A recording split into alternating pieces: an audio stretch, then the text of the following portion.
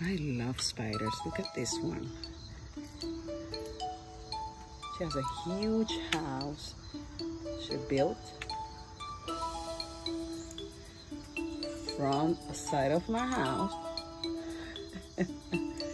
to the car to the car. Aren't they the best yarn ladies? best kneaders, the best for crocheters are here. Spiders. Have a good morning.